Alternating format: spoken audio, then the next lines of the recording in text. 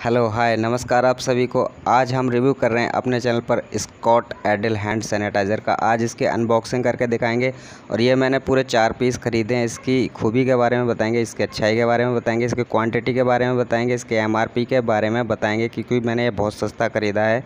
तो इसके बारे में पूरी जानकारी लेंगे कि तो इस सैनिटाइज़र में कितना है, दम क्या है, कम सब बताएँगे। हम स्वागत है आपका हमारे चैनल रिव्यूज़ अड्डा में और मैं हूँ सोनू राघव। जल्दी से हमारे चैनल को सब्सक्राइब कर लीजिए और बेल आइकन को प्रेस कर लीजिए। आइए वीडियो को शुरू करते हैं। तो आइए सबसे पहले हम इसके अनबॉक्सिंग कर लेते हैं और साथ में बता देते हैं कि सबसे अच्छी खूबी इस सैनिटाइज़र की यह है कि ये सैनिटाइज़र WHO द्वारा प्रमाणित है। और ये सैनिटाइज़र मैंने कहाँ से परचेज़ किया है, ये भी मैं आपको बताऊँगा। और कितने रुपये में मैंने परचेज़ किया है, ये भी मैं आपको बताऊँगा।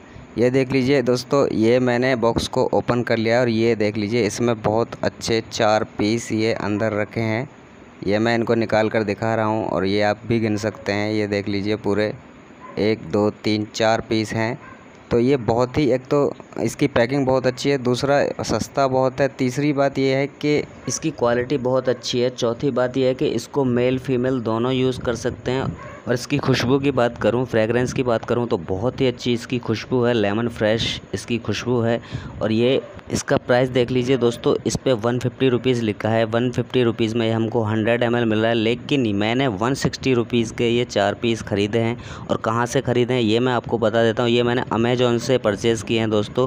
अगर आप भी इसको परचेज़ करना चाहते हैं तो मैं लिंक डिस्क्रिप्शन में दे दूँगा, वहाँ पर जाकर आप इसको परचेज़ कर कर सकते हैं। अब मैं आपको इसे ओपन करके दिखाने वाला हूँ, इसकी क्वालिटी दिखा देने वाला हूँ और मैं आपको बता दूँ कि ये एक जेल सैनिटाइज़र है और मैंने जितने भी जेल सैनिटाइज़र यूज़ किए हैं आज तक, इतना अच्छा जेल वाला सैनिटाइज़र मुझे कोई नहीं लगा क्योंकि ये बहुत ज़्यादा टाइट नहीं है, हल्का सा लूज़ है।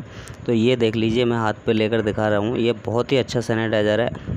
अच्छे से इसको रब करके अच्छे से मेल्ट हो जाता है और फटाफट से हाथों से गायब हो जाता है और जम्स को किल करके हाथों को एकदम क्लीन एंड सेफ़ कर देता है। तो दोस्तों, मेरे द्वारा दी गई जानकारी आपको कैसी लगी प्लीज़ चैनल को सब्सक्राइब करके ज़रूर बताएँ कमेंट करें वीडियो को लाइक करें शेयर करें, ताकि औरों को भी इन्फॉर्मेशन मिल सके। Thank you so much